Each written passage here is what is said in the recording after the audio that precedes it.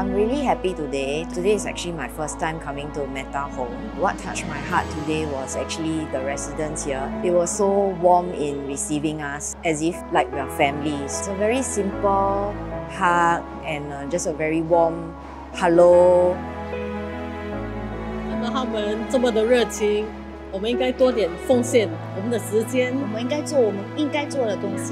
来陪伴他们。我很感恩我的身体很健康，我们每天早上起来还有家人在身边。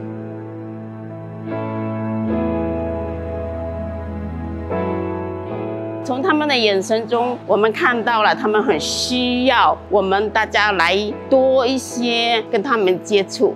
我呼吁大家捐款来帮助这一群需要我们帮助的人。I'm very happy to be here at Metta Home for the Disabled. I made some balloons for them today, the residents here, and they really loved it. I myself is a mother of an autistic child. Seeing the facilities and also the staff here who is so dedicated to help the residents. So I wanted to shout out to the caregivers out there. I know that this is our biggest worry, but there are places like Metta to help to take care of our child.